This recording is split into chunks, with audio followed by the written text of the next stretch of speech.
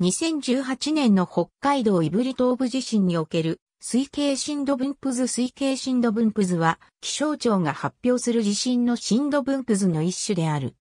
震度計で観測された震度をもとに地表付近の地盤の増幅度を使用して 1km 四方の格子間隔で震度を推計し、震度計のない場所も含めて震度を面的に表現したものが推計震度分布図である。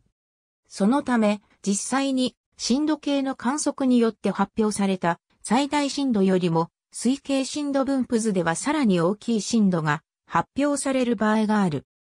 例えば、2011年に発生した東北地方、太平洋沖地震では、福島県いわき市において、震度計で観測された最大震度は6弱であったが、推計震度分布図によれば、いわき市内の一部では震度6強7を観測したと発表されている。